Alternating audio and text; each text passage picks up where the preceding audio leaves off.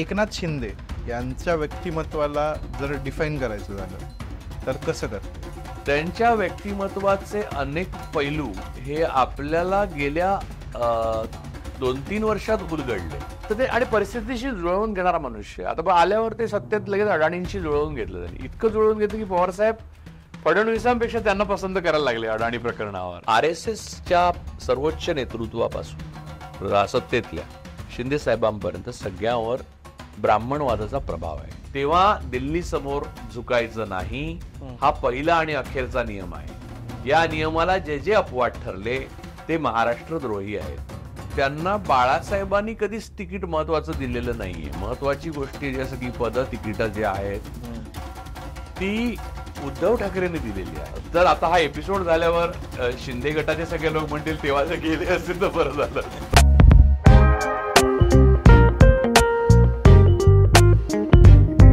नमस्कार. इंडी रेडिओ आणि इंडी जर्नलच्या इंडी चॅट या कार्यक्रमामध्ये आपलं स्वागत. आपण मागच्या काही काळात ज्या अनेक चर्चा इंडी चॅटमध्ये केलेल्या आहेत त्याच्यात आपण महाराष्ट्राचा महाराष्ट्राच्या राजकारणाचा आणि अनेक राष्ट्रीय राजकीय नेत्यांच्या नेतृत्व कौशल्याचा नेतृत्व शैलीचा आढावा घ्यायचा प्रयत्न केलाय. आणि त्यासाठी आपण राजू परोळेकर सर यांच्यासोबत चर्चा केलेली आहे. आज सुद्धा परोळेकर सर आपल्यासोबत आहेत. आज आपण एका अशा विषयावर चर्चा करणार आहोत ज्यानं खरं तर मागचा काही काळ मागचे दोन तीन वर्ष एका अर्थानं गाजवलेली आहेत. आणि ते म्हणजे महाराष्ट्राचे लाडके मुख्यमंत्री Eknath Shinde.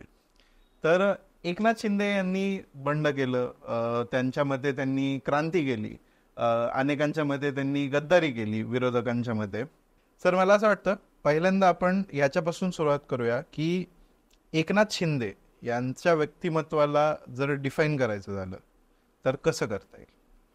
He is doer बर. ते पक्षामध्ये कष्टकरी मुंग्या असतात म्हणजे कुठच्या मुंग्यांच्या कळपामध्ये पण कष्टकरी मुंग्या असतात. मनमाशाच्या पोळ्यामध्ये सैनिक मुंग्या असतात. तर एकनाथ शिंदेना डिफाईन करायचं असेल तर ते ते आहे. म्हणजे होते ते राणीमाशी नाही हे लक्षात घ्या. परंतु राजकारण हे इम्पॉसिबल गोष्टींना अशक्य गोष्टींना शक्य करण्याची कला आहे. त्यामुळे ते जे झालं ते आपल्याला माहिती आहे. त्यांच्या व्यक्तिमत्वाचे अनेक पैलू हे आपल्याला गेल्या दोन तीन वर्षात उलगडले. त्याच्या अगोदर ते उद्धव ठाकरेंचे एकनिष्ठ असे लेफ्टनंट होते. आणि मी उद्धव ठाकरेंचे अशासाठी म्हणतोय की त्यांना बाळासाहेबांनी कधीच तिकीट महत्वाचं दिलेलं नाहीये. महत्वाची गोष्टी जसं की पद तिकीट जे आहेत ती उद्धव ठाकरेंनी दिलेली आहेत. मला माहिती आहे त्याप्रमाणे जेव्हा बाळासाहेब राजकारणात निवृत्तीकडे जायला लागले. आणि त्यांनी स्वतःची इच्छा व्यक्त केली की उद्धव ठाकरेंनी पक्षाचं नेतृत्व करावं. तेव्हा उद्धव ठाकरे यांचे जवळचे सहकारी असलेले मिलिंद नार्वेकर जे आता आमदार आहेत त्यांच्याशी त्यांचं बोलणं झालं. त्याच्यात असं ठरलं की आता आपण आपली टीम निवडायला पाहिजे. आणि ती आपल्या टीममध्ये उद्धव ठाकरेंनी कॅटेगरिकली पहिले एकनाथ शिंदेचं नाव घेतलं. आणि एकनाथ शिंदेना मला असं वाटत नाही की जी पदक त्यांच्या मुलाला सुद्धा जे खासदार पद म्हणजे त्यांनी कष्ट केले असतील त्यांनी सगळे मेहनत केली हे सगळं मान्य आहे. पण कष्ट मेहनत प्रथमेश तू आणि मी किती दिवस करतोय? काय मिळालंय आपल्याला? आपल्याला कोणी देतही नाहीये किंवा विचारतही नाहीये. तर ती कष्ट आणि मेहनत केल्याच्यानंतर त्यांना जे मिळालं ते उद्धव ठाकरेंमुळे मिळालं ना की बाळासाहेब ठाकरेंमुळे मिळालं. हा. ते शिवसैनिक पहिल्यापासून होते. आणि आनंद दिघेनी त्याला दिलेली जी सीट वगैरे होती. आनंद दिघेन माझं तर मी ठाण्यातच वाढलो. बर. मी टेंबी नाक्यावर म्हणजे तू म्हण की पडीक असे मामल्याची मिसळ हे आमचं अन्न होत. हा म्हणजे त्यात प्रोटीनही नाही कार्बोहायड्रेटही नाही त्यात फक्त चुना असायचा. पण प्रचंड आवडायचा आम्हाला ते. अर्थात त्यामुळे आम्ही जग गेलो नाही हीच मोठी गोष्ट. तर आता हा एपिसोड झाल्यावर शिंदे गटाचे सगळे लोक म्हणतील तेव्हा जर गेले असते तर बरं झालं असतं. पण एनिवे तर मूळ मुद्दा हा आहे की मी पाहिलेले आनंद दिघे आणि आनंद दिघ्यांच्या जवळची खूप माणसांना मी पर्सनली ओळखतो. एक उदाहरण देतो शिशिर शिंदे. आता शिशिर शिंदे शिंदे गटात आहेत. ते त्यांच्या बरोबर आहेत. मी ते काय बोलतील नाही पण शिशिर शिंदे आणि आनंद दिघे यांचं सख्य हे प्रसिद्ध होतं.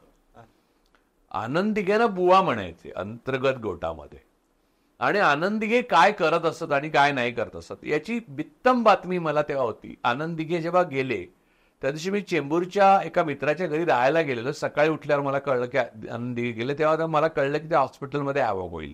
कारण आनंद दिघेंचं त्या प्रकारचं कल्ट होतं. कळत होतं. परंतु प्रवीण दरडे तरडेकृत चित्रपटामध्ये धर्मवीर एक आणि धर्मवीर दोन मध्ये प्रसाद ओगनेजी असाधारण भूमिका आणि बेरिंग सांभाळले. सांभाळ ते वगळता दाखवलेली बहुतेक गोष्टी या काल्पनिक आहेत. आणि जर आनंदी गे आज बघायला असते तर चकित झाले असते आणि म्हणले असते की अरे आपण असे होतो काय? आपल्यालाच कळलं नाही. तर मूळ मुद्दा हा आहे की ना की एकनाथ शिंदे आनंद दिघेंच्या एवढे जवळ होते पहिली गोष्ट. दुसरी गोष्ट एकनाथ शिंदेचा जो उदय आहे आणि जो राईज आहे आणि जे महत्त्व आहे ते उद्धव ठाकरे आणि उद्धव ठाकरेमुळेच वाढलं. आणि उद्धव ठाकरेंच्या नंतर मिलिंद नार्वेकर. ओके. या दोन माणसांनी एकनाथ शिंदेचं मो मोठेपणा घडवलं. आणि ते ज्या ठिकाणी पोहोचले ते त्यामुळे पोहोचले. आता तू लक्षात घे की मुख्यमंत्री झाल्यावर युडी हे खातं कोण आपल्या लेफ्टनंटला देईल? कोण शहाणा मुख्यमंत्री देईल? म्हणजे उद्धव ठाकरे वेड्यात मी. उद्धव ठाकरेंना असं वाटलं की आपण आणि एकनाथ शिंदे वेगळे नाहीच आहोत. बरोबर.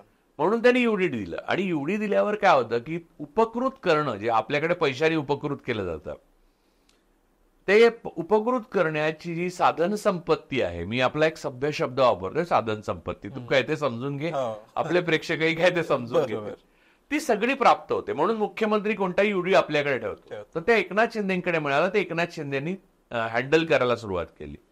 त्यामुळे काय झालं की पक्षातला बहुसंख्यांचा गट जो आहे तो एकनाथ शिंदेचा मिंदा झाला. खरं तर उद्धव ठाकरेंच्या आशीर्वादाने तर मिळालेलं युडी खातं होतं. तर माझं ना पक्ष बदलण्याविषयी त्यांच्या काहीच आक्षेप नाही किंवा माझा किंवा कोणाचाच नसा. कारण पक्ष बदलणे ही भारतीय लोकशाहीतली एक सार्वत्रिक प्रक्रिया शरद पवारांनी पक्ष बदलले विलासरावांनी एक क्षण पकडला. प्रणव मुखर्जींनी बदललं सगळ्यांनी बदलले. म्हणजे इंदिराजींचा पक्ष पण दोन भागात झाला वगैरे. आत बाहेर अनेक लोक होतात. बरोबर. पक्ष बदलणं ही काय मोठी मला मी गद्दार वगैरे अशी काही प्रतिक्रिया देणार नाही. पक्ष बदलणं हा प्र- पूर्ण हक्क आहे. छगन भुजबळांनी सगळ्यात पहिले हे घेतलं. नंतर नारायण राणे गेले स्वतः राज ठाकरे गेले. परंतु पक्ष बदलताना आपल्या मातृपक्षाचं चिन्ह आणि आपल्या मातृपक्षाचा जो प्रमुख आहे ज्या प्रमुखाने आपल्या मुलाला उत्तराधिकारी म्हणून निवडलेला आहे त्या मुलाच्या वडिलांना पळवणं हे मला धक्कादायक वाटलं आणि ते आक्षेपार्ह आहे. इमॉरल तर ते आहेच आहे पण नै अनैतिक नैतिकच्या पलीकडे सुद्धा भारतीय राजकारणामधला तो एक असा पायंडा आहे ज्याचा परिणाम ज्यांनी हे केलं त्यांना जास्त भोगावा लागणार आहे. आता काही काळापुरता शिवसेना किंवा राष्ट्रवादी मूळ पक्ष यांनी भोगला किंवा अमित शहाना वगैरे मजा आली त्याच्यात. पण याचा परिणाम जो भोगणार हे सगळी माणसं ज्यांनी हे करवून आणलं किंवा केलं तो कॉन्सिक्वेन्सेस भयंकर आहे. म्हणून ते न झालं असतं तर उत्तम. ते एकनाथ शिंदेच्याच जास्त हिताचं होतं. तर मग आपण एकनाथ शिंदे एक राजकारणी हा ही चर्चा आपण करूच. पण त्याच्या आधी मला विचारायला आवडेल की एकनाथ शिंदे एक व्यक्ती म्हणून किंवा त्यांचा वै- व्यक्तिगत जो प्रवास आहे त्यांनी आयुष्यामध्ये एकतर छोट्या गावातून ते आलेले होते त्यांचं कुटुंब आलेलं आणि त्यानंतर त्यांनी आयुष्यात बरीच ट्रॅजेडी सुद्धा पाहिलेली आहे.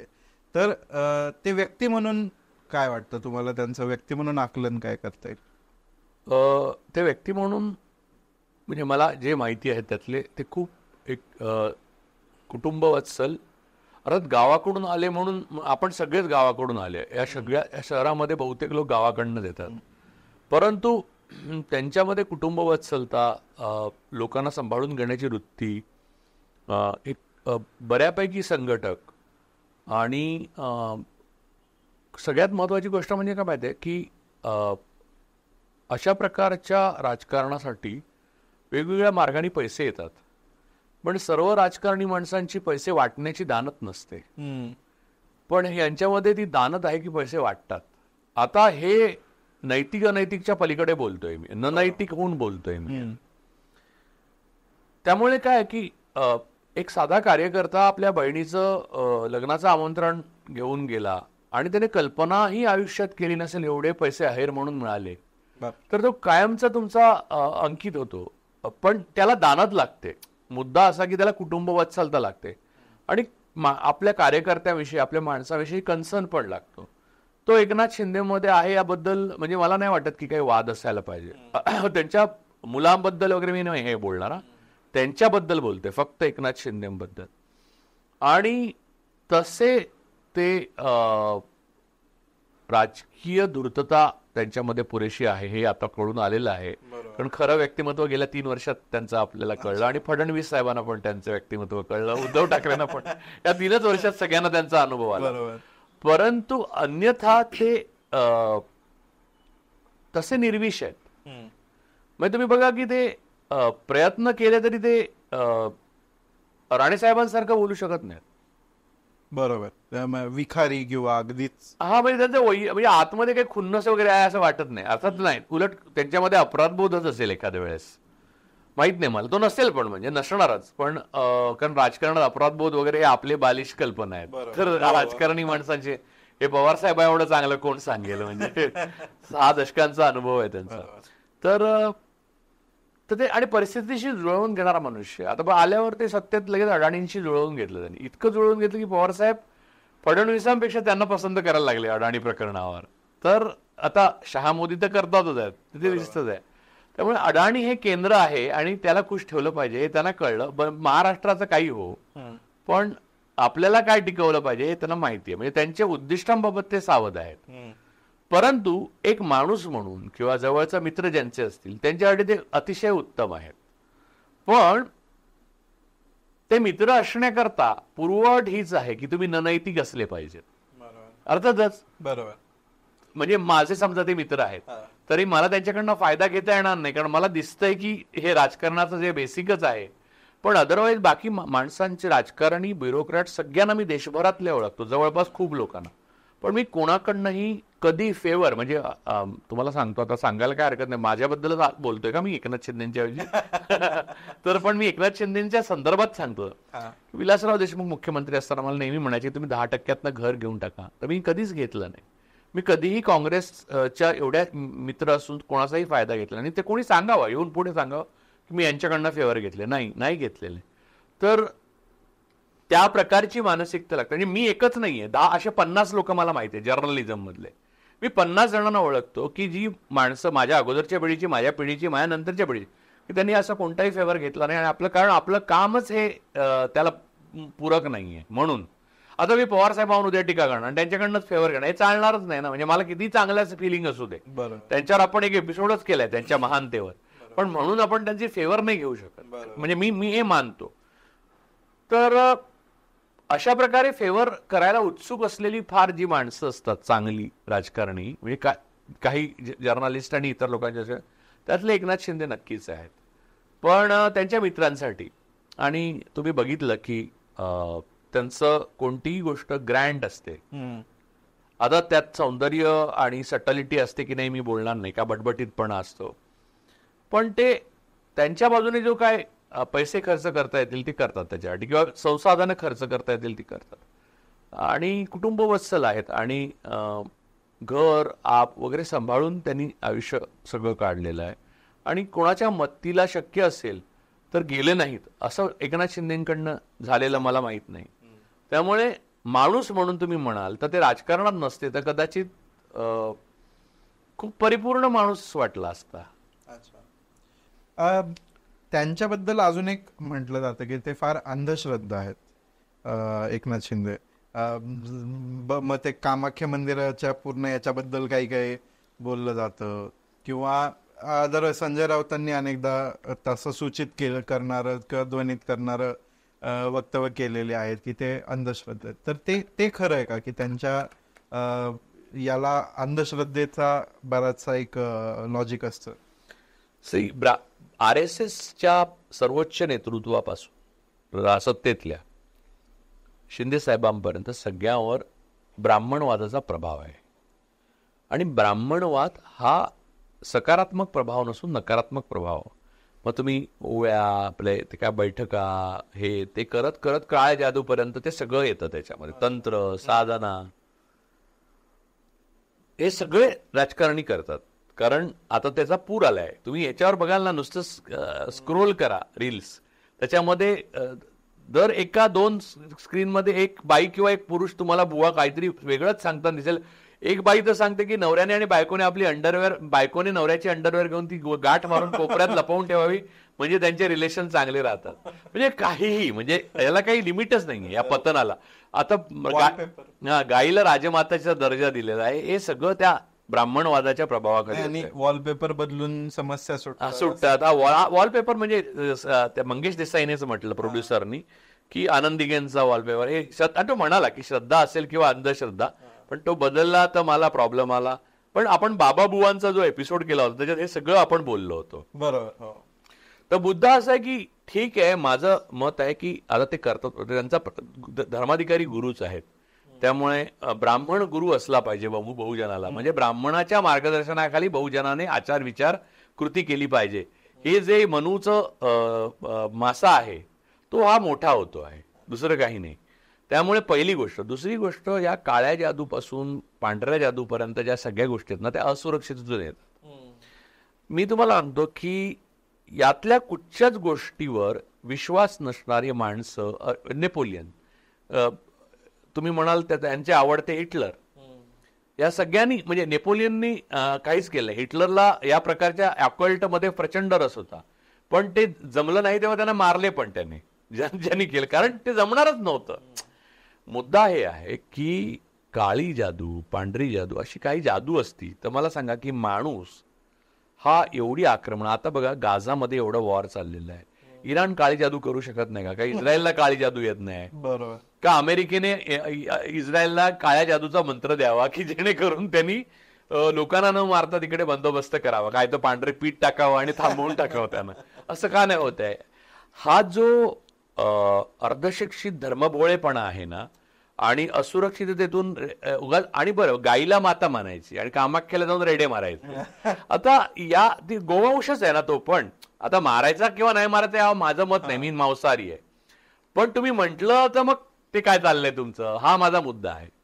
बरं तू कामाख्या तुम्हाला गंमत सांगतो की संपूर्ण या सनातन काळामध्ये सनातन नावाचा धर्म नाही आहे आणि हिंदू नावाचाही धर्म नाही सनातन म्हणजे अँशंट दोनच पूजेची साधनं होती. एक स्त्रीची योनी आणि पुरुषाचं लिंग. कारण ते पुनर पुनरुत्पादनाचं साधन आहे. तेच नातं पाऊस आणि जमिनीमध्ये आहे. म्हणून स्त्रीला हे धरती पण म्हणतात भूमी पण म्हणतात. तर त्यामुळे कामाख्या देवी पूजा ही योनी पूजा आहे. आणि महादेवाची पूजा ही लिंग पूजा आहे. बरोबर. बरोबर? ही आपल्या पिढ्या लिगसी आणि पुनरुत्पादन आणि पीक पाणी हे नीट होण्याकरता सातत्यपूर्ण प्रक्रिया चालू राहावी यासाठी मानवाने दाखवलेली कृतज्ञता आहे. आणि यामध्ये तसे बाधा आल्या. म्हणजे यावर्षी पी- पाऊसच नाही पडला. पिकत नाही आलं की माणसाला भीती वाटली. तेव्हा त्याने काळ्या जादू आणि हे याने मग सुरू केलं. त्याचं अतिशय विकृत स्वरूपापर्यंत ते पोचलं ते माणूस पारमार्थिक आहे असं समजून किंवा मंत्रतंत्र आहे असं समजून इथपर्यंत आणलं. काही गोष्टी संस्कृतमध्ये लिहिलेल्या असल्यामुळे त्या पवित्र आहेत असं मानलं जातं. तुम्ही लक्षात घ्या की संस्कृत भाषांतर करून तेच मंत्र जर तुम्ही तुमच्या भाषेत म्हटले ना तर तुम्हाला स्वतःलाच हसू येईल. तर या सगळ्या गोष्टी सगळेच राजकीय पुरुषत्ता करतायत. काही अपवाद वगळता. या अगोदरचे मुख्यमंत्री त्याच्या अगोदर मुख्यमंत्री करत नव्हते असं मी कसं म्हणू? स्वतः चीफ जस्टिसच देवळांमध्ये जानवी दाखवत फिरतात आपल्या देशाचे. आपण बोबडेंपासून बघतोय. त्याच्या अगोदरपासून म्हणजे. मुद्दा असा की या सगळ्या गोष्टीला प्रतिबंध घालण्याचा प्रयत्न जो डॉक्टर बाबासाहेब आंबेडकर शाहू फुले पंडित जवाहरलाल नेहरू या सगळ्यांनी केला. त्यांची ही बदनामी का करतात? कारण आणि पेरियार कारण त्यांना यांना त्यांची भीती वाटते. म्हणून यांनी दाभोळकरांना मारलं म्हणून यांनी कलबुर्गेना मारलं म्हणून यांनी गौरी लंकेशला मारलं म्हणून यांनी ते अं, अजून एक पानसर एक अण्णांना मारलं. याच या लोकांना मारण्याचे कारण काय? या प्रकारच्या विचाराच्या लोकांनी. याचं कारणच हे की त्यांना भीती वाटते की खरं कोणतरी बाहेर काढेल. त्यामुळे मला एवढंच म्हणायचं आहे की बळी द्यायचा असेल तर दारिद्र्याचा बळी द्या. बरं. मला वाटतं की एकनाथ शिंदेचा तुम्ही उल्लेख एक शिवसैनिक आणि एक कामगार कामगार मुंगी असं तुम्ही केलात. तर मला वाटतं की त्याच्यासाठी एक प्रश्न मला खूप महत्त्वाचा वाटतो की एक शिवसैनिक त्या शिवसैनिकाची सायकोलॉजी काय असते. तो पक्षाकडे कसा बघत असतो किंवा त्याची पक्षप्रमुखासोबतची अटॅचमेंट कुठल्या प्रकारची असते त्याची सायकोलॉजी काय असते. सी असं शिवसैनिकाची सायकोलॉजी असं एक आपल्याला कम्युनिस्टांसारखं नाही म्हणता येणार कारण साठ सत्तरच्या दशकातल्या शिवसैनिकाची सायकोलॉजी ही ऐंशीच्या दशकातल्या शिवसैनिकाच्या सायकोलॉजीपेक्षा वेगळी आहे. नव्वदच्या दशकात तो व्हॅनिला झाला. म्हणजे पांढरे कपडे घालून फिरू लागला. सगळे पांढरे बूट पण. तर तो व्हॅनिला झाला नंतर त्याला ते कोडवर्डमध्ये ते कावळे म्हणतात. कावळे म्हणजे सोनं अंगावर आलं. अरे. हा तर ती ते आलं. तर ते सायकोलॉजी बदलत गेलेली आहे. अपॉर्च्युनिझम जो आहे काँग्रेसचा काँग्रेसमधला जो अपॉर्च्युनिझम आहे बीजेपीतला जो लबाड संधी साधूपणा आहे आणि त्याच वेळेला अ, एकीकडचा लढवय्या असलेल्या शिवसैनिकाचा वारसा सांगत अत्यंत भित्रा झालेला शिवसैनिक ही शिवसैनिकाच्या सायकोलॉजीचा एव्होल्युशन आहे. अन्यथा चाळीस लोकांमधले तीस लोक तर नक्कीच एक ए फोर साईजचे दोन कागद जे ईडीच्या नोटिसीचे आले त्यामुळे गेले. म्हणजे राणे साहेब असो किंवा एकनाथ शिंदे साहेब असो किंवा अनेक मी नावं घेईन तर सगळेच म्हणजे गुवाहाटीला जे जाऊन आनंद साजरा करत होते तो आनंद नवीन पक्षात गेल्याचा आनंद कमी होता आणि आता आपल्याला ईडी अटक करणार नाही याचा आनंद जास्त होता. उदाहरणार्थ प्रताप सरनाईकांनी तर पत्रच लिहिलं होतं उद्धव ठाकरे. हे काय ते वरचं मिटवा म्हणजे त्यांना ते आयडियोलॉजी वगैरे पक्ष मुद्दाच नव्हता. त्यांच्यासाठी तो जनतेच्या जीवनाशी संबंधित असलेला लोकशाही संविधान रक्षणासाठी असलेला मुद्दाच नव्हता. त्यांच्यासाठी त्यांची जी योग्य अयोग्य मार्गाने मिळवलेली संपत्ती आणि साधन संपत्ती टिकवण्याचा प्रश्न होता. आणि त्यातल्या जर अयोग्य मार्गाने जर कुठचं असेल काही तर त्याचे जे कागद आलेले आहेत त्यामुळे आपण जे आपले नातेवाईकांसह तुरुंगात जाऊ शकतो त्यापासून वाचण्याचा मुद्दा होता. त्यामुळे त्यांचं शौर्य हे इकडे उघडं पडलं. तुम्ही लक्षात घ्या की शिवसेनाच नव्हे तर काँग्रेस पक्षातले सुद्धा दिग्गज. किंवा देशातल्या अनेक पक्षातले दिग्गज जे जेलला घाबरून सरळ भाजपला सामील झाले त्यांचं देशप्रेम आणि त्यांचं शौर्य हे उघडं पडलं हे मला वाटतं. म्हणजे शिवसेनेमध्ये संजय राऊत किंवा राष्ट्रवादी काँग्रेसमध्ये अनिल देशमुखांसारखे थोडी माणसं निघाली. बरोबर आणि या उलट लवकर शरण जाऊन बीजेपीने आपल्याला घ्यावं यासाठी धडपड करणारी माणसं खूप निघाले. म्हणजे दादा अजितदादांबद्दल आपल्याला कशाला आदर होता? अजितदादा एक तगडे मराठी नेते आहेत आणि ते ज्या पद्धतीने बोलतात लोकांशी ते पाहता आपल्याला असं वाटायचं की ते काहीतरी एकदम जोरदार नेते आहेत. पण त्यांना सुद्धा नोटिसा गेल्या घरच्यांना गेल्या. मी समजू शकतो. म्हणजे बीजेपीने काही चांगलं नाही केलं. की त्यांनी त्यांच्या बायका सुना मुलं मावशा काक्या छोटी मुलं अनिल देशमुखांचा सहा वर्ष या सगळ्यांना आणि आता लक्षातच येतं की हे सगळं एजन्सी हे एक्स्टॉर्शन रॅकेट होतं. तर त्यांनी नोटिसा गेल्या आणि त्यांना छळलं. त्याबरोबर पण मग छळलं तर ज्या मराठा सरदारांचे तुम्ही वारस आहात ते संभाजी महाराजांना पण छळलं होतं. ते शरण गेले का? आणि ते काय हिंदुत्वासाठी नव्हतं छळलं. त्यांनी हेच विचारलं होतं की मराठ्यांचा मुद्देमाल कुठे आहे? किल्ल्यांचं मूळ मुद्दा किल्ले कुठ- किती आहेत? आणि मराठ्यांच्या रसदीची बद्दल बरोबर. हेच मुद्दे होते. हिंदुत्व हा मुद्दा नव्हता. तो नंतर कादंबरीकारांनी घुसवलेला ब्राह्मण कादंबरीकारांनी घुसवलेला मुद्दा आहे. छत्रपती संभाजी महाराज हे धर्मवीर नव्हते. ते स्वराज्य रक्षक होते. बरोबर. आणि त्यासाठी त्यांनी बलिदान दिलंय. मराठ्यांचं जे सा- साम्राज्य पुढे निर्माण झालं त्याच्या बलिदानाची पहिली वीट ही संभाजी महाराजांनी रचली. हिंदुत्वाचा काही संबंध नाही त्याच्याशी.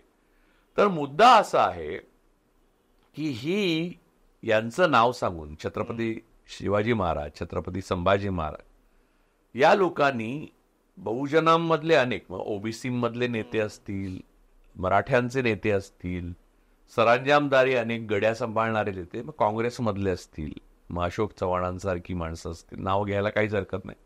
जर त्यांनाच जायला बीजेपीत लाज वाटली नाही तर आपण नाव घ्यायला लाजावं का? तर हे एकनाथ शिंदेसारखे आणि त्यांच्याबरोबर गेलेले चाळीस लोकांसारखे लोक असतील. या सगळ्या लोकांनी ज्यांची नावं ते सांगतात छत्रपती शिवाजी महाराज त्यांच्या नावाला त्यांच्या बलिदानाला काळीमा फासला. कारण दिल्लीची सल्तनत जेव्हा विरोधात जाते आणि तुम्हाला जीवाला आणि तुमच्या कुटुंबाच्या जीवाला धोका निर्माण होतो तेव्हा तुम्ही बलिदान द्यावं. असा इतिहास संभाजी महाराजांचा आहे. त्यामुळे स्वराज्य रक्षण महाराष्ट्राचं जेव्हा करता तुम्ही महाराष्ट्र धर्माचं जेव्हा रक्षण करता तेव्हा दिल्ली समोर झुकायचं नाही. हा पहिला आणि अखेरचा नियम आहे. या नियमाला जे जे अपवाद ठरले ते महाराष्ट्रद्रोही आहेत. देशद्रोही तर आहेतच त्याचं कारण वेगळं आहे. त्याच्यावर आपण पुढे बोलू. जर तुला बोलायचं असेल तर. बरोबर. मी मुद्दाम हा प्रश्न परत थोडासा वेगळ्या अँगलने विचारतो की शिवसेना प्रमुख आता आधी बाळासाहेब ठाकरेंनंतर शिवसेना पक्षप्रमुख उद्धव ठाकरे झाले बनतात. तर त्यांच्याशी असलेलं जे एक नातं आहे की आता अनेक विश्लेषक या बंडानंतर बोलताना म्हणाले की बाळासाहेब असते तर असं नसतं झालं. किंवा बाळासाहेबांकडे ती तो कॅरिझमा होता तो कंट्रोल होता पक्षाचा की जो उद्धव ठाकरेंकडे नाहीये आणि त्यामुळे हे घडलं. तर मला असं विचारायचं आहे की हे इमॅजिनेबल होतं का कधी? की एखादा अशा प्रकारचा हाडाचा शिवसैनिक किंवा इतक्या वर्षांचा शिवसैनिक हा पक्षप्रमुखाला चॅलेंज करू शकेल. कारण इतर पक्षांमध्ये जसं तुम्ही म्हणाल ते कल्चर आहे किंवा ते शक्यता आहेत की तुम्ही पक्षाला चॅलेंज करू शकता पक्ष बदलू शकता बंड करू शकता निघून जाऊ शकता या सगळ्या गोष्टी. पण इथं ते असं घडणं याचं खूप लोकांना आश्चर्य वाटलं होतं. तर ते काय कसं शक्य झालं? म्हणजे ते काय बदललं? मला असं वाटत नाही की बाळासाहेब असते तर हे झालं नसतं. पहिली गोष्ट म्हणजे बाळासाहेब असताना आपण खरं वास्तविक इतिहास बघू कित्येकदा आपण विसरतो. छगन भुजबळ सोडून गेले होते आणि नंतर त्यांनी त्याला टी बाळू म्हणायला सुरुवात केली होती. एवढं नव्हे तर अटकेपर्यंत मॅटर आणला होता त्यांच्या बाळासाहेबांच्या. त्यामुळे बंड आणि त्याच्यावर सुरेश भटानी गेले तेव्हा ती मला आठवतं मी तेव्हा आरजे होतो आकाशवाणी. मी एकाच वेळेला शिक्षण घेत होतो आणि म्हणजे मी आत्मचरित्र नाही सांगत पण पैशासाठी मला बरीच कामं करायला येत. त्यातलं एक आरजे आणि हे करायचो मी. तर मी त्या चर्चगेटला रेडिओ स्टेशनच्या बाहेर जेवायला बाहेर आलो होतो तेव्हा महानगर खूप पॉप्युलर होता निखिल वागळे यांचा. त्याचा ती पहिल्या पानावरती सुरेश भटांची कविता छापलेली होती मला आठवतं की जुलमाच्या वरवंट्याचा जाहला केर पाटा हे इंदू हृदय सम्राटा तो छगन करी तुझं टाटा. असं ते अख्खी कविता होती. त्यामुळे छगन भुजबळांनी केलं. नंतर मी स्वतः डोळ्याने जवळून म्हणजे मी आतून बघितलेली गोष्ट म्हणजे मी उद्धव ठाकरेंच्या सोबतच टेलिव्हिजनवर बघितलं की नारायण राणे अंगार है बाकी सब भंगार अशा घोषणा आणि मग दुसऱ्या दिवशी ती झालेली सभा ज्याच्यामध्ये बाळासाहेबांनी नारायण राणेंना काढून टाकलं. नंतर पुन्हा मी साक्षीदार अगदी जवळून असलेलं म्हणजे राज ठाकरेंनी केलेलं बंड आणि ते बाहेर पडले. शिवसेनेतनं आणि वेगळा पक्ष स्थापन केला. त्यामुळे बाळासाहेब असते तर बंड झालं नसतं लोक वेगळे झाले नसते यावर माझा विश्वास नाही. पहिली गोष्ट. चिन्ह आणि सगळं पळवून नेण्याची जी गोष्ट आहे ती बाळासाहेब असते तर कदाचित नसती झाली असं वाटायला पन्नास पन्नास टक्के वाव आहे. पण ज्या प्रकारच्या निरंकुश हुकुमशाहीचा वरवंटा मोदी आणि शहानी एकोणीस ते चोवीस या काळात चालवला एजन्सीचा त्याच्यावर बाळासाहेबांच्या प्रकारच्या माणसाने तडजोड केली नसती का केली असती? याबाबत मी बेनिफिट ऑफ डाऊट दोघांनाही देऊ इच्छितो. मी निश्चित सांग निसंदिग्धपणे बाळासाहेबांच्या काळात असं झालं नसतं असं सांगू शकत नाही. कारण इमर्जन्सीच्या काळात बाळासाहेबांनी इंदिरा गांधींबरोबर जाणं पसंत केलं जेव्हा सामान्य लोक लढत होते. तर मुद्दा असा आहे की महाराष्ट्राने बघितलेलं आहे की शौर्य कोणी दाखवलं बलिदान कोणी केलं आणि चौर्य कोणी केलं आणि पळून कोण गेले. त्या इतिहासात त्या त्या लोकांची नावं तेव्हा तेव्हा सामील झालेली आहेत.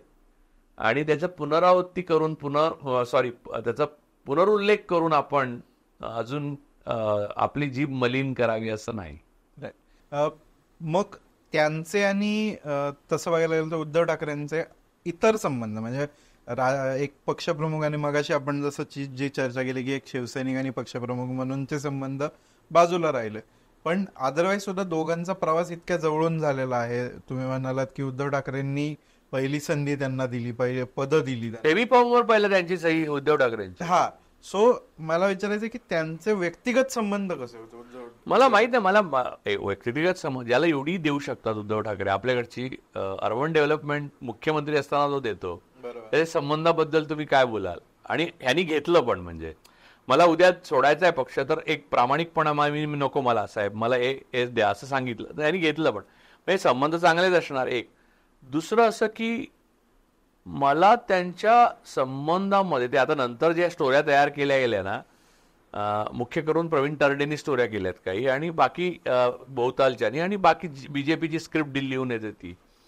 त्या स्टोऱ्या सारखं एल- शिंदे मला राणे साहेब आणि उद्धव ठाकरे मधलं कटुता माहिती आहे. पण एकनाथ शिंदे आणि उद्धव ठाकरे यांच्यामध्ये अशी काही भयंकर कटुता होती वगैरे असं मला वाटत नाही. ते नंतर तयार केलं गेलं की एक अपराधबोध हा असतो जो माणूस स्वतःला थोडीच फसवतो. की ते जस्टिफाय करायला लागतं स्वतःशी. पण ना रोज रात्री तुम्हाला जस्टिफाय करायला लागतं की आपण हे केलंय. त्याच्यासाठी स्टोरी आणि मग शेवटी तयार स्टोऱ्या भाजपामध्ये बनतच असतात. त्याच्यासाठी वेगवेगळे सेल आहेत. त्या येतात प्लस आता तरडेसारखी गुणी मंडळी आहेतच तर ती अशी ऍड करतात त्याच्यात सगळं. त्यांना क्राफ्ट चांगला असतो त्यांच्याकडे. तर एक आहे मी मी सिनेमाशी संबंधित माणूस आहे खरं तर. माझ्या सिनेमाशी खूपच जवळचा संबंध. खरं तर मी सिनेमा केलाच असता आतापर्यंत हे मोदी गव्हर्नमेंट नसतं तर दुसरं एक काम करत बसण्यापेक्षा. पण मला एक सांगायचं की प्रवीण तरडे हे बाकी काही असो मराठीमध्ये ज्या लोकांना सिनेमाचा क्राफ्ट कळलाय त्यातले एक दिग्दर्शक आहेत. त्यामुळे त्यांनी चुकीचं पसरवणं हे घातक आहे कारण ते पोचणार. बरोबर. तर आता त्यांनी काय करावं हे त्यांचा प्रश्न आहे. मला काही देणं घेणं नाही. मुद्दा असा की त्यांनी जे दोन्ही धर्मवीर केलेले आहेत ते आनंदीगे मी बघितलेले आनंदीगे मला माहीत असलेले आनंदीगे आणि आनंदीगेंच्या अगदी जवळची माणसं माझ्यावर रोजच बोल मी माझं ठाण्यातच गेलो. आनंदीगे गेल्यावर एक वर्षाने मी ठाणा सोडलं. तर मुद्दा असा की म्हणजे आनंदीगे गेले म्हणून नाही सोडलं माझं कारण वेगळं होतं. पण म्हणजे मला माहिती आहे की काय होते आनंदीगे आणि त्याचा याच्याशी काय संबंध नाही. आणि हे ते एवढे हे बघा कसं आहे त्यांना एक ऑरा होता लिमिटेड पण एवढे मोठे नेते आणि ती त्याचे डायलॉग पल्लेदार बोलतो वगैरे तसं त्यांना बोलायला थोडा त्रास होता. ते म्हणून भाषण नसेल करत. ते संघटक कुशल होते आणि त्यांचा एक दरारा होता. म्हणून त्यांनी सगळ्यांचा न्याय केला असंही नाही. आणि काहींना न्याय दिला काहींच्यावर अन्यायही झाला. हिंसा आवर्जन होती पण हिंसा केली झालेली आहे. म्हटल्यावर त्यांनी पवारसाहेबांसारख्या माणसाचे पायदाराला मागे बघितलं नाही. या गोष्टी बंद दर्जा दरवाजाआड झाल्या ते नाकारणार कसं? तेव्हा प्रभाकर हेगडे म्हणून नेते होते. आणि ते मोठे वकील पण होते. त्यांच्याबद्दल त्यांना जुळवून घ्यायला आनंदिकेनं पवारसाहेबांनी सांगितलं. या सगळ्या गोष्टी म्हणजे मी मी थेट बघितलेल्या मला काय देसाई किंवा तरडेंची किंवा शिंदे साहेबांची गरज नाही सांगायला की काय झालं होतं. किंवा आनंदिगे यांच्या सवयी काय होत्या? त्यांना आवडायचं काय? त्यांना काय आवडायचं नाही? ते काय करत असत कुठे? सगळं मला माहिती आहे. त्यामुळे या कथा कादंबऱ्या क्राफ्टमनशिपच्या चांगल्या वाट वा- वापरून काल्पनिक निर्माण करणं एका वास्तविक माणसाच्या हे समाजासाठी चांगलं नाही असं मला वाटतं. तर एकनाथ शिंदेंनी असे मित्र गोळा केले जे ननैतिक आहेत. म्हणजे चांगल्या माणसाला चांगले मित्र मिळायला पाहिजेत तसे त्यांना मिळाले. पण ते नैतिकता या बाबतीत ननैतिक आहेत. म्हणजे मी काळजी घेतली. आता मी असतो तर काळजी घेतली असती की बघ, त्याच्या चरित्रात जर मी विलन आहे तर त्याच्या चरित्रात बघा आपण कोणाच्या तरी चरित्रात हिरो असतो तर कोणाच्या तरी चरित्रात विलन असतो. बरोबर. तर त्याच्या चरित्रात मी विलन आहे तर विलन आहे. सो व्हॉट किंवा उद्धव ठाकरेंबाबत इतकं कटू त्यांनी बोलावं असं ना उद्धव ठाकरेंनी त्यांच्याशी काय केलेलं आहे किंवा त्यांनी उद्धव ठाकरेंशी काय केलं? म्हणजे त्यांच्या दोघं असं काही वय नव्हतं. आता आम्ही सँडविच देत होतो आणि कॉफी देत होतो वगैरे असं कोण कोण बोललं? आता सँडविच आणि कॉफी तर तू पण मला देतोस तर उद्या जर तू काढायला लागला की राजू परोळकरांना आम्ही तू तर मटन पण दिलेलं आहे तुम्हाला तर सँडविच कॉफी मटन देत होतो. त्याला काय अर्थ आहे का यार? म्हणजे आपण आपल्या आपल्याला ज्या- ज्याच्याबद्दल आदर असतो प्रेम असतो तू माझ्या घरी आल्यावर मी नाही देत तुला. त्याला देतो ना म्हणजे त्याच्या गाडीत बसवून देणं मी गावाला जाताना मी माझ्या मित्रांसाठी काय वाटेल ते करतो. तर याचं नंतर भांडवल करून म्हणजे तुमच्या चांगल्या काळातल्या एका प्रेम प्रकरणाच्या चांगल्या काळात केलेल्या एका रमणीय आणि आनंदित आनंददायक अशा रोमांसचं बिभत्स आणि अश्लील वर्णन ते रिलेशन तुटल्यावर करण्यासारखं आहे. आणि हे मला फार अनैतिक वाटतं. बरं. शिवसेना प्रमुख हे पद एका अर्थाने फार आयडियोलॉजिकल पद आहे. एका अर्थाने त्याच्यासाठी तुम्ही काहीतरी एक वेगळी भूमिका. म्हणजे जसं म्हणतो आपण की मास लीडर एकीकडे असतात की जे मेहनतीतून जसं तुम्ही म्हणाला कामगार मुंग्या. कामगार मुंग्यांचं लिडरशिप एक वेगळ्या प्रकारात असतं. पण शिवसेना नेहमीच कला कलाभिमुख कलाकार प्र, प्र- प्रकृतीचे आणि काहीतरी आयडिओलॉजिकल इन्क्लिनेशन असलेले अशा नेतृत्वात नेतृत्वाचा पक्ष म्हणून ओळखला जातं. तर एकनाथ शिंदेची शिव शिवसेना किंवा एकनाथ शिंदेचं व्यक्तिमत्व जे आहे ते एक पक्षप्रमुख म्हणून आता ते कसं टॅकल करतात? त्या शिवसेना प्रमुख पदाच्या जो ऑरा आहे त्या त्या पक्ष नेतृत्वाचा. तर त्याची काय आयडिओलॉजिकल मांडणी त्यांना जमत जमतीये? किंवा तशी काय आहे त्यांच्याकडे आयडिओलॉजिकल अंडरस्टँडिंग त्या ह्याची? असं वाटतं का? आयडिओलॉजी म्हणजे काय? असं एकनाथ शिंदेच्या पक्षाबाबत आहे. म्हणजे आयडिओलॉजिकल मांडणी वगैरे खूप मोठी गोष्ट आहे. म्हणजे बाळासाहेब ठाकरेंकडे ती आयडिओलॉजिकल मांडणी होती का हा मुद्दा माझ्याकडे मनात आला. पण मी त्याच्यात आता पडत नाही. कारण तो इतिहास झालेला आहे त्याच्यावर मी अगोदर बोललेलो. बोल ब्राह्मणांनी ब्राह्मणांसाठी चालवलेली ब्राह्मणांची संघटना असं सगळ्या बीजेपी बरोबर आलेल्या उपसंघटनांचं वास्तविक स्वरूप आहे. हम्म.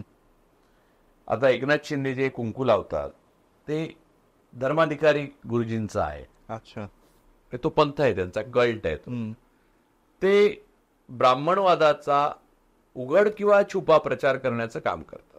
बहुजनवादाला नष्ट करण्याकरता ज्या auxiliary structures R S S कल्टने उभ्या केलेल्या आहेत. म्हणजे डायरेक्ट इनडायरेक्ट पद्धतीने. ते बुवा बाबा सगळे जे प्रवचन करत फिरतात किंवा गुरुमी आता एक बुवा तो सोडला जातो पॅरोलवर अचानक बाहेर येतो. त्याला एवढा पॅरोल मिळालाय की त्याला तुरुंग ही शिक्षा नसून पॅरोल ही शिक्षा असावी असं वाटावं. गुरुमीच काय तो बाबा हा. तो बाबा राम रहीम.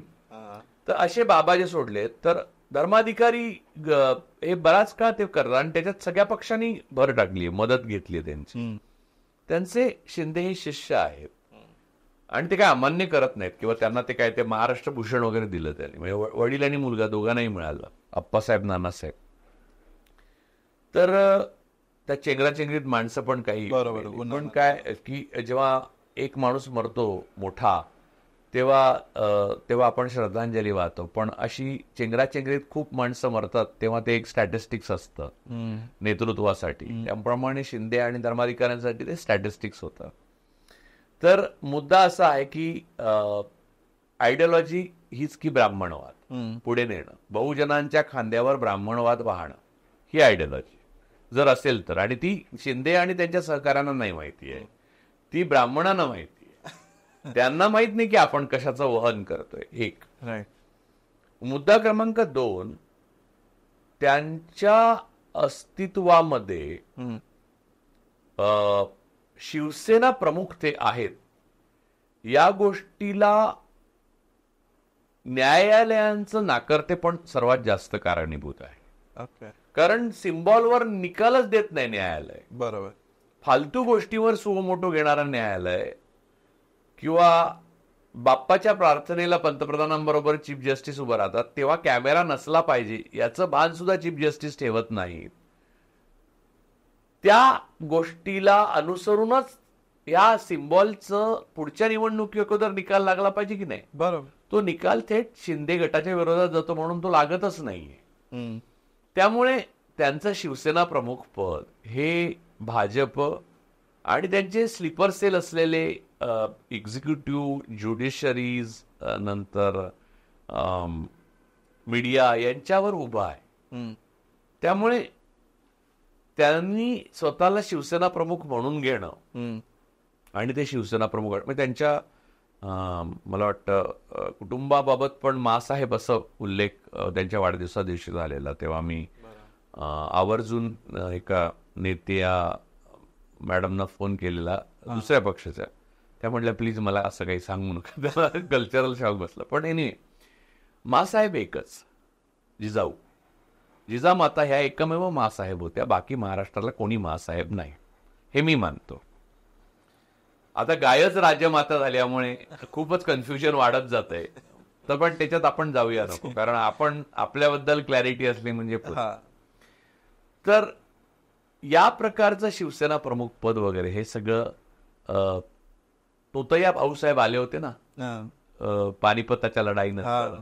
तर काही ब्राह्मणांनी त्यांना उभे करून ठेवले होते की हे भाऊसाहेब वगैरे. आणि मग त्यांना शेवटी ब्राह्मणांना सोयीचं नाही ठरलं तेव्हा त्यांना एक्झिक्यूट केले. बरोबर.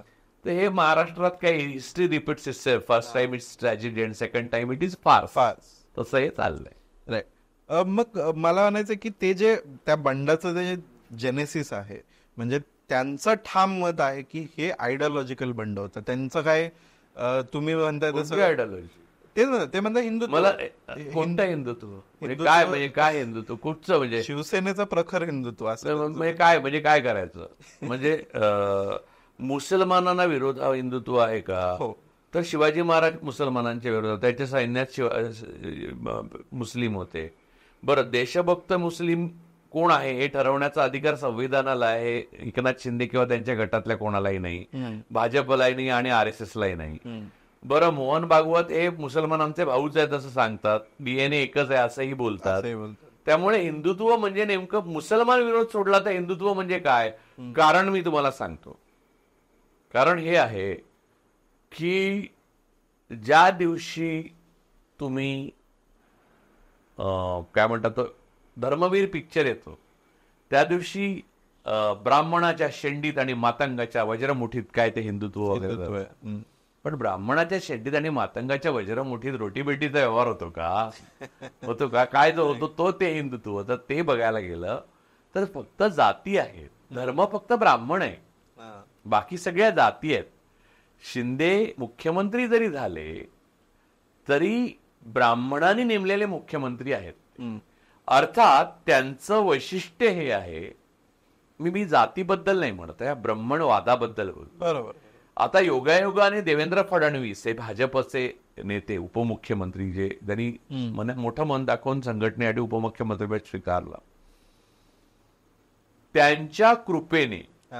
त्यांच्या वरदहस्ताने त्यांच्या रात्रीच्या वेषांतर करण्याच्या आयडियाने रात्री कुठे जातात हे दोघांच्या पत्नींना माहीत नसल्यामुळे.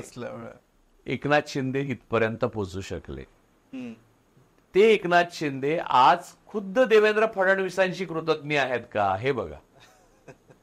तर त्याचं तुम्हाला उत्तर हो का नाही हे व्यवहारात तुम्हाला बघता येईल. तुम्ही थेट फडणवीसांना विचारू शकता एकनाथ शिंदेना विचारू शकता आणि एकनाथ शिंदे आणि फडणवीसांचे जे शीर्ष नेतृत्व आहे शहा म्हणजे मोदी तर फार बघत नाहीत. मोदी परदेशातच भारतीयांना भेटायला जातात.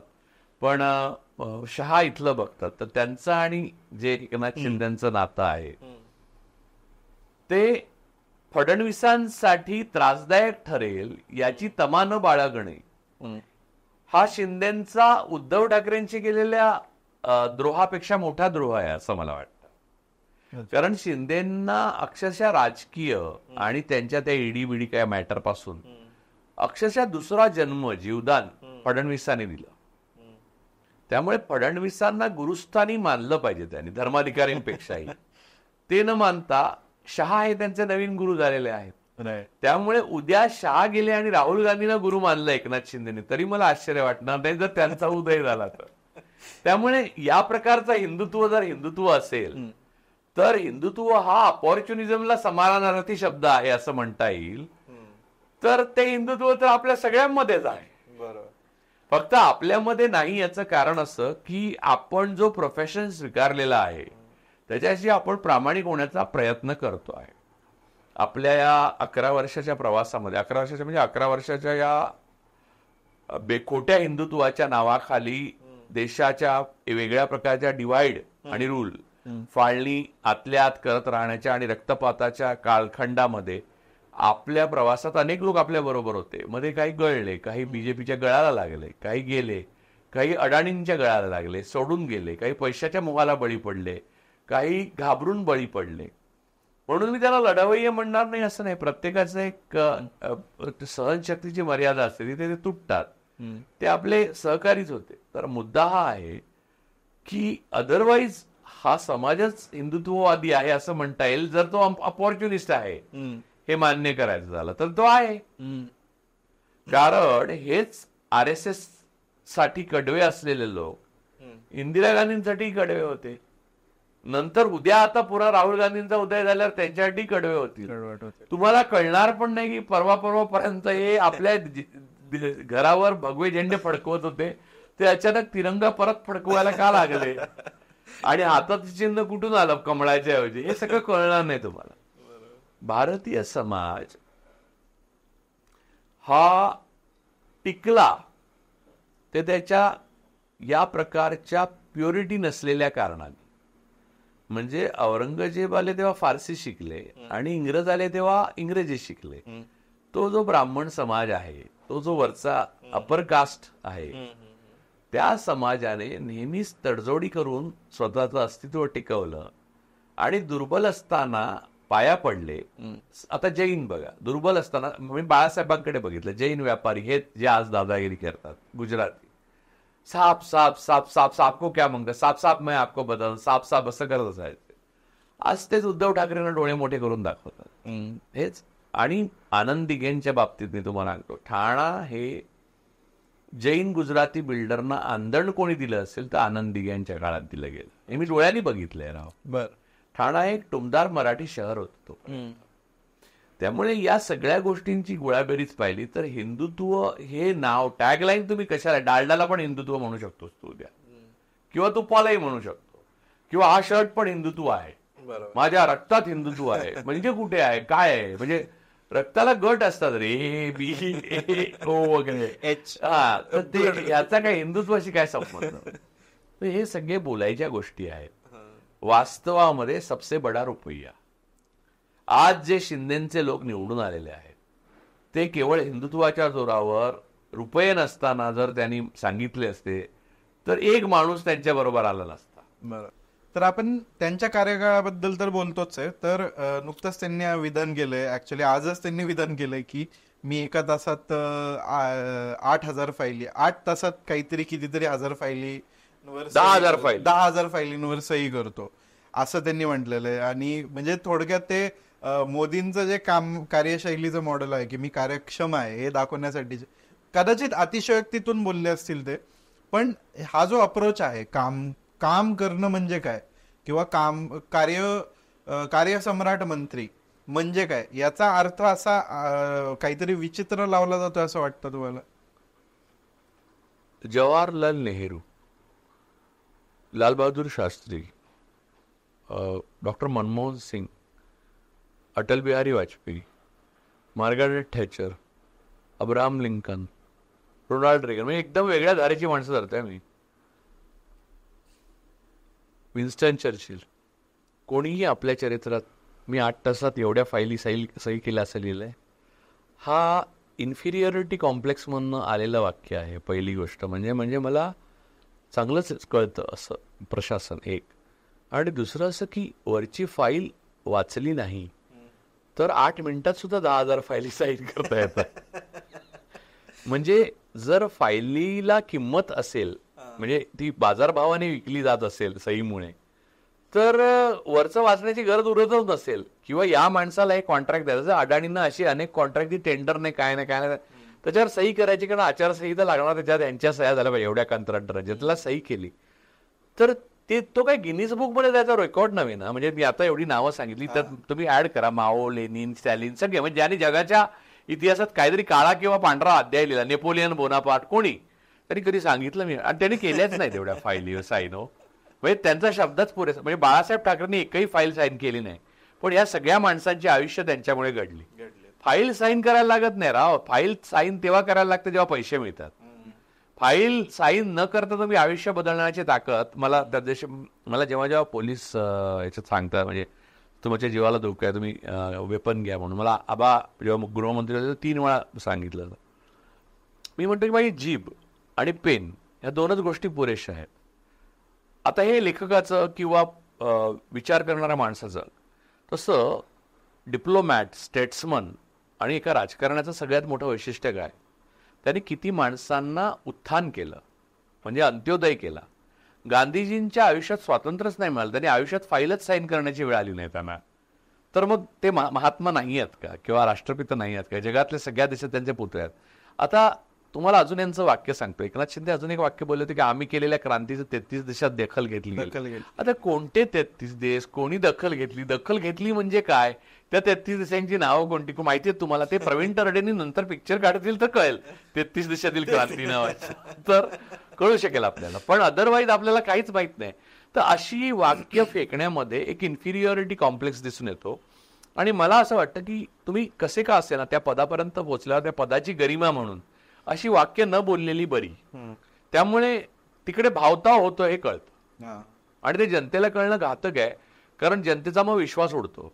सज्जनपणा रूल रूल रूलने कायद्याने वागणं नंतर कायदा आणि सुव्यवस्था या सगळ्यावर आणि एक दिवशी असा इतका विश्वास उडत गेला ना तर यादवी होईल.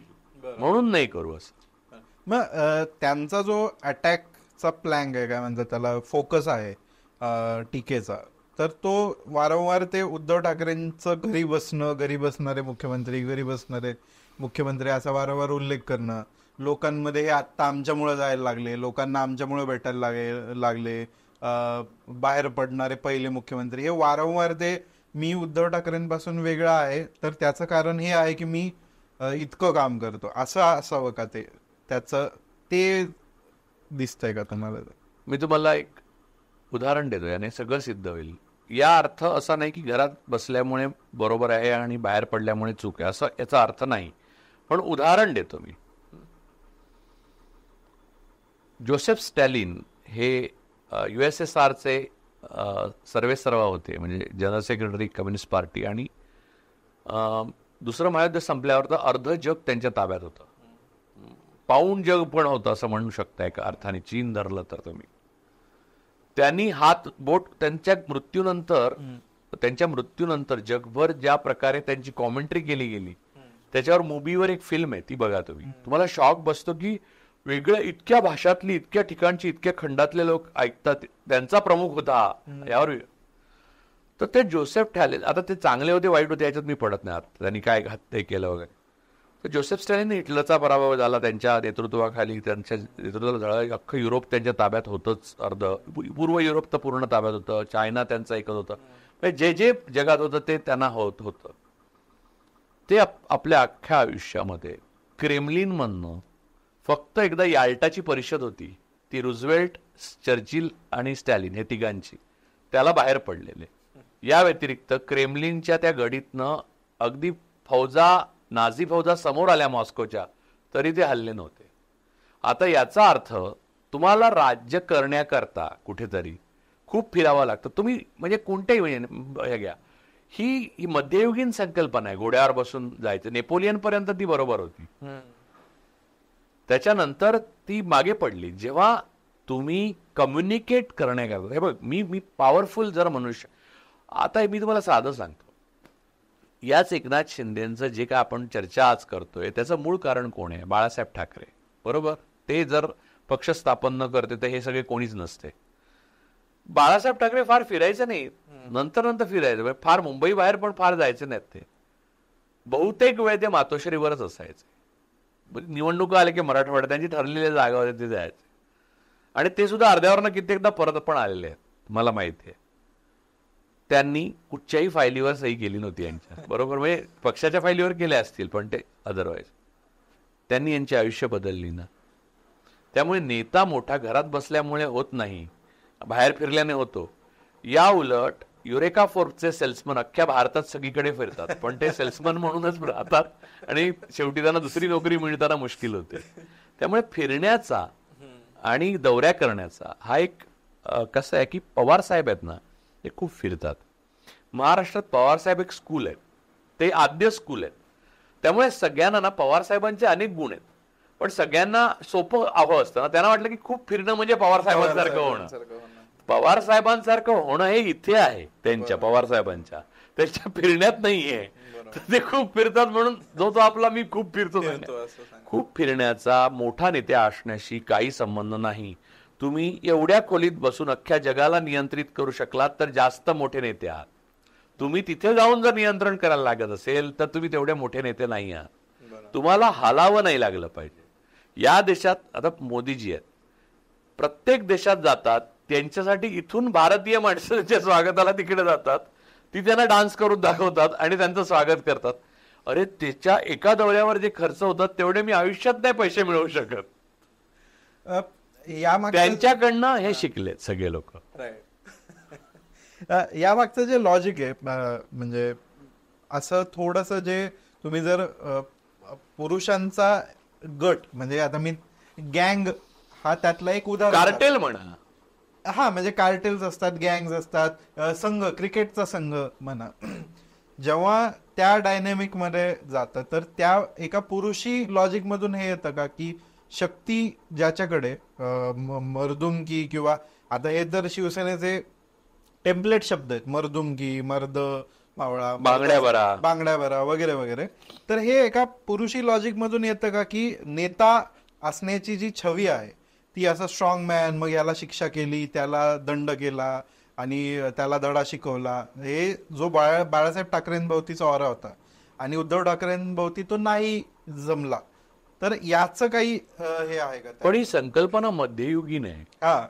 मध्ययुगीन काळामध्ये हात छाटा पाटलाचे हे करा हात चौरंग करा हे सगळं मध्ययुगीन आहे.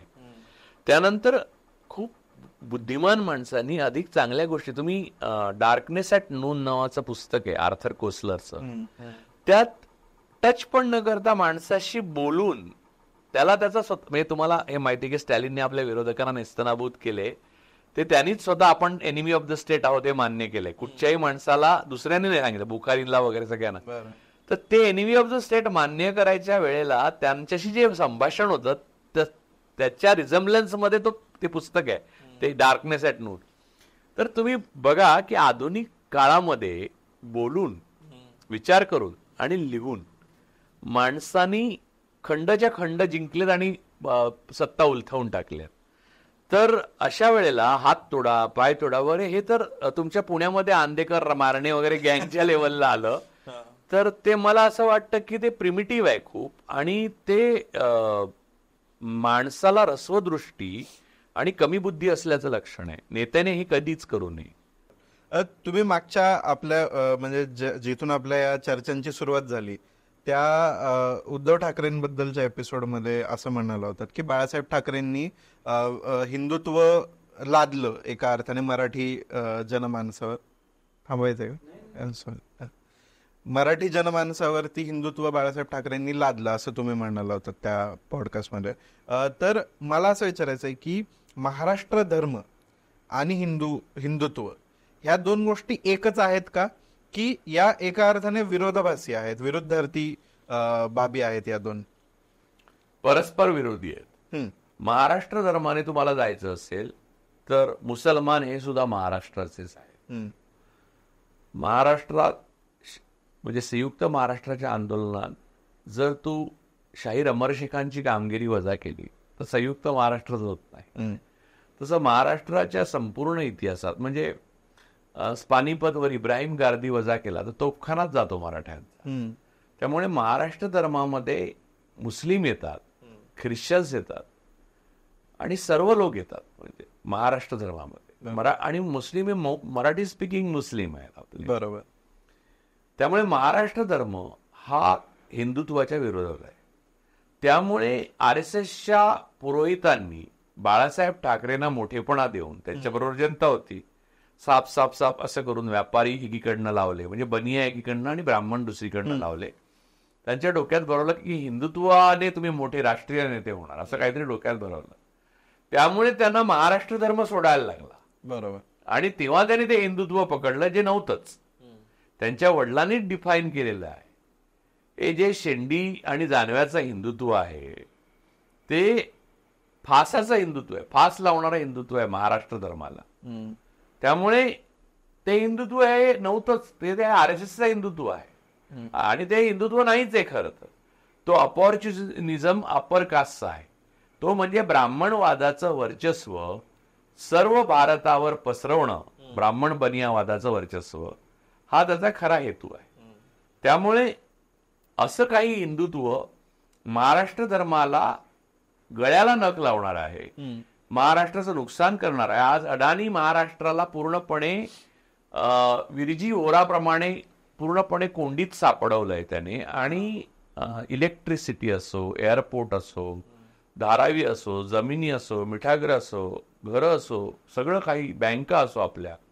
मराठी माणसाचे कष्ट असो सगळं त्याने वेठीला धरलंय. याचं कारण सुरत लुटणारे शिवाजी महाराज आज आपल्याकडे नाही आहेत हम्म. त्यामुळे महाराजांना हे माहिती होतं. की विरजी वोरा जैन असो गुजराती असो हिंदू असो काही असो त्याला लुटला पाहिजे कारण तो औरंगजेबाला मदत करतो आहे. तो इंग्रजांना कर्ज देतो आहे डचांना कर्ज देतो आहे. त्यामुळे महाराजांनी दोनदा लुटला त्याला. दुसऱ्या लुटीनंतर तो सावरला नाही आणि तो गेला. तर मुद्दा असा आहे की आज आपल्याकडे त्याचा अभाव आहे. पवार साहेब अडाणी यांचं मुलगा आणि वडिलांसारखे संबंध. हे बाळासाहेब जे एकेकाळी जैन गुजराती व्यापाऱ्यांना ज्याप्रमाणे मुलासारखं वगैरे मानत असत तेच पवार साहेबांचं ह्या लोकांनी केलं. त्यामुळे महाराष्ट्र धर्माला आज वाली नाही. आणि हिंदुत्व हे बोगस आहे. तो ब्राह्मण धर्म आहे.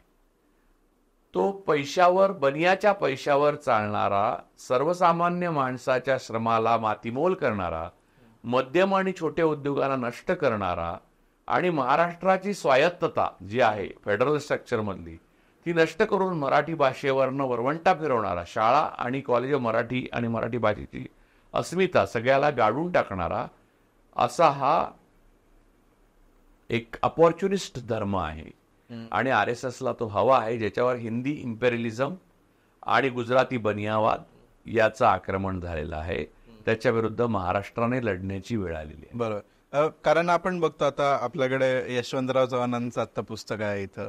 यशवंतराव चव्हाणांपासून जी परंपरा सुरू होते ती नंतरच्या अनेक मुख्यमंत्र्यांपर्यंत अगदी शरद पवार विलासराव देशमुखांपर्यंतही म्हणता येईल की या सगळ्या मुख्यमंत्र्यांनी एक संतुलन कायम राखलं होतं की त्यांचं पक्षीय अफिलिएशन जे आहे किंवा पक्षीय धोरण जे आहे ते मान्य करणारच. पण त्यासोबत महाराष्ट्र धर्माला कुठं इजा होणार नाही केंद्राच्या कुठल्या आदेशातून वगैरे. तर महाराष्ट्राबद्दलची एक बांधिलकी त्यांनी राखून ठेवली होती. तर तुम्हाला असं वाटतं का की एकनाथ शिंदेंनी एक मुख्यमंत्री म्हणून त्या महाराष्ट्र धर्माच्या परंपरेला कुठंतरी हे लावले टाचलं काहीतरी इजा केली आहे त्याला?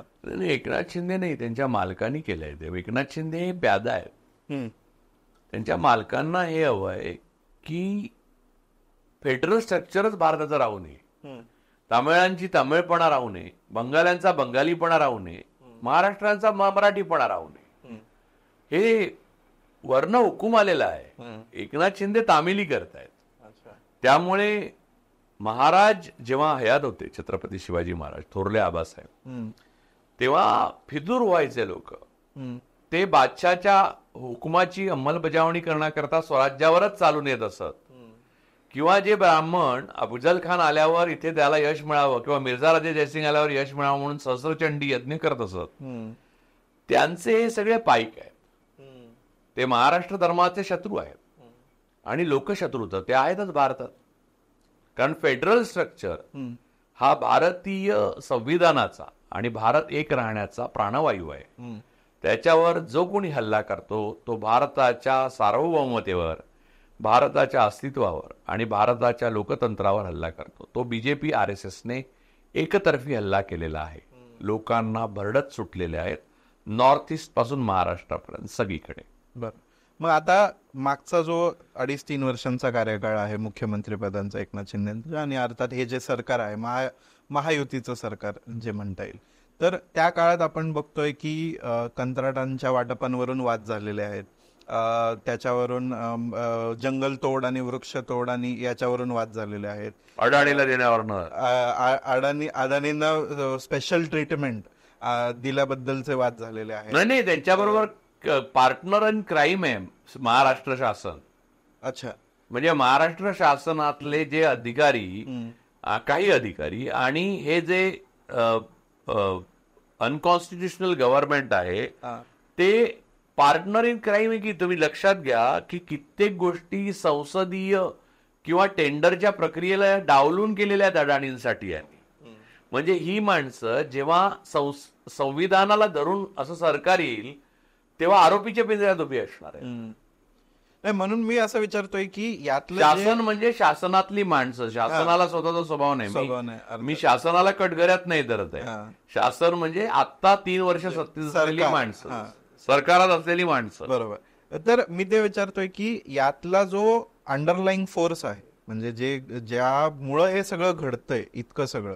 एक इतक्या जलद गतीने प्रोजेक्ट प्रकल्प पास केले जातात आहेत. ते विशिष्ट प्रकारच्या अडाणी. अदानी आणि अर्थात अंबानींना पण काही आता उदाहरणार्थ आपण बघितलं लालबागचा राजाच्या ट्रस्टी बोर्डवरती आनंद अंबानी. हे कसं आहे की आपल्याला मी मध्ये कुठेतरी बोललो. वाजपेयी होते. तेव्हा ते आपल्याला सॉफ्ट वाटायचे कारण अडवाणी हार्ड वाटायचे. मोदी आले तेव्हा अडवाणी सॉफ्ट वाटायला लागले मोदी हार्ड वाटायला लागले. योगी दि- बघितल्यावर आपल्याला योगी हार्ड वाटतात मोदी. मोदी सॉफ्ट तसं अडाणी आल्यावर अंबानी आपल्याला सॉफ्ट वाटतात वास्तविक दोन्ही एकच प्रॉडक्ट आहे. बरोबर. नाही म्हणून म्हटलं की या प्रकारचा जो आता ह्या सगळा हा जो रेटा आहे महाराष्ट्र राज्य म्हणून ज्या दिशेनं चाललं आहे राज्य नेलं जात आहे मी चाललंय म्हणणार नाही अजून पण कारण महाराष्ट्रानं लोकसभा इलेक्शनमध्ये काहीतरी स्वतःचा एक कल दाखवून दिलेला आहे. आपलं निवड काय आहे हे दाखवून दिलेलं आहे. एकतीस सीट्स महाविकास आघाडीला दिलेलं. तर मला असं विचारायचं आहे की पण याचा जो अंडरलाईंग इकॉनॉमिक फोर्स आहे किंवा याच्या इकॉनॉमिक म्हणणं खरं चाळीस सीट मिळाल्या आता बाकी डीएम आणि निवडणूक आयोगाच्या कृपेने उरलेल्या सीट वरच्या नाही. तर त्याच्यातला जो अंडरलाईंग फोर्स आहे तो धर्म आहे सांस्कृतिक आहे जसं या हे क्लेम करतात. का तो याच्या मागचं जे एक मोठं व्यापक अर्थ आर्थिक हितसंबंधांचं जाळं आहे आणि आर्थिक एका अर्थानं आय डोंट नो हा शब्द वापरणं योग्य आहे की नाही पण तरी पण फ्रॉड आर्थिक फ्रॉड एक मोठाच्या मोठा आर्थिक फ्रॉड या सगळ्याला ड्राईव्ह करतोय का? या सगळ्याला दिशा देतोय का? आर्थिक फ्रॉड या सगळ्याला दिशा देतोय. हो. शेअर मार्केट हे एक भासमान आहे. मी मागे पण एका मुलाखतीत बोललो होतो की एका गाडीचा स्पीडोमीटर. आणि त्याचं एक्सलेटर यांचा संबंधच तोडून टाकला तुम्ही. की स्पीडोमीटरवर एकशे वीस कायम ठेवली. तर तुम्हाला भ्रामक वाटणार की गाडी वेगात चालली आहे मागचं भोवतालची चित्र पळवत उलटी राहिली. ते ते शेअर मार्केट आहे तो स्पीडोमीटर अशा पद्धतीने संपूर्ण अर्थव्यवस्था. एका भयंकर कालखंडातनं जात असताना संपूर्णपणे लोकांना बनवलं जात आहे त्यांच्याच पैशातनं. त्यांच्यासाठी असलेले पब्लिक सेक्टर युनिट. काही फ्रॉड्युलंट अशा ऑलिगार्कच्या हातात दिल्या जात आहेत. आणि हे उघड डोळ्याने पाहण्याखेरीज जनतेला गत्यंतर नाही कारण त्यांना असं वाटतं आपल्याला दिशा दाखवणारा नेता नाही दिशा दाखवणारी संघटना नाही आणि केडर असलेली संघटना आपल्याबरोबर उभी नाही. शेवटचा प्रश्न आता या सगळ्यानंतर की एकनाथ शिंदे ज्या पद्धतीने उद्धव ठाकरेंबद्दल बोलले या सगळ्या याच्यानंतर त्यांनी अजून पण ज्या प्रकारे त्यांचा त्यांचे जो मुलगा जो आहे खासदार असलेला तो ज्या प्र- प्रकारे उद्धव ठाकरेंबद्दल ठाकरे फॅमिलीबद्दल बोलला किंवा शिवसेना शिंदे गट एकूणच उद्धव ठाकरेंना ज्या प्रकारे प्रस्तुत करतो. आणि मागच्या तीन वर्षातलं हे सगळं आपण जे बघितलेलं तो कार्यकाळ. याचा एकनाथ शिंदेच्या भविष्यातील राजकारणावरती काय परिणाम राजकीय अस्तित्वावरती काय परिणाम होणार? ते काय बोलले किंवा ते उद्धव ठाकरेंबद्दल काही नाही बोलले तरी त्यांच्या राजकारणाचा जो कॉन्सिक्वेन्स आहे असतं आहे. ते दरीमध्ये आत्ता पडायचं का नंतर जाऊन पडायचं या दोन चॉईस दोन विकल्प होते त्यांच्याकडे. त्यातला एक विकल्प त्यांनी निवडला नंतर पडायचं. त्यामुळे ते बोलले नाही बोलले तरी ते तेच आहे त्याचा अंत. कारण कॉन्सिक्वेन्सेसला ते सामोरे का जाणार याचं सगळ्यात महत्वाचं कारण म्हणजे त्यांची त्यांच्या इमारतीची बैठक जी आहे ती सत्यावर नाही. ती तुम्ही मगाशी सांगितलेल्या एका मार्केटच्या फ्रॉड्युलंट घोटाळ्याला प्रोटेक्ट करणाऱ्या जो स्वतःची वीट रचली गेलेली आहे सत्यावर आधारलेली त्याच्यावर उभी असलेली त्यांची ती इमारत आहे ती एका प्याद्याची इमारत आहे. त्याचा भविष्यकाळ तो कसला. आता ते उद्धव ठाकरेंना क्ष लँग्वेजमध्ये बोलले ड लँग्वेजमध्ये बोलले.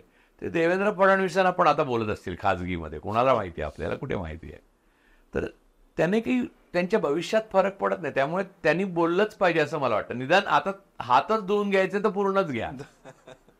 त्यांनी उद्धव ठाकरेंबद्दल किंवा कुणाबद्दलही काय जे वाटेल ते बोलावंच त्यांच्या लोकांनी. कारण काय आहे की जर चित्रपटाचा शेवट बदलणार नसेल तर मधल्या डायलॉगनी काय फरक पडतो?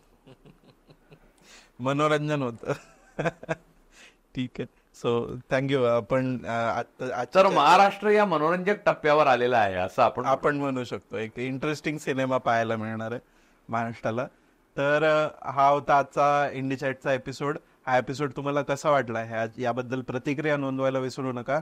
त्याचसोबत इंडी जर्नलचं जे हे युट्यूब चॅनल आहे ते सबस्क्राईब करा. सोबत तुम्हाला जॉईनचं ऑप्शन दिसेल. तो जॉईनचं ऑप्शन वापरून तुम्ही इंडी जर्नलला अजून थोडी अजून थोडं सहकार्य करू शकता. त्याच्यामध्ये वेगवेगळ्या टियर्सचे तुम्ही एक मासिक वर्गणी निवडू शकता जे आमच्यापर्यंत पोहोचेल. आणि अशा प्रकारची पत्रकारिता अशा प्रकारचा मजकूर तुमच्यापर्यंत आणायला आम्हाला मदत होईल शक्य होईल. तर हा व्हिडिओ लाईक करा शेअर करा सबस्क्राईब करा आणि पाहत राहा इंडिजनल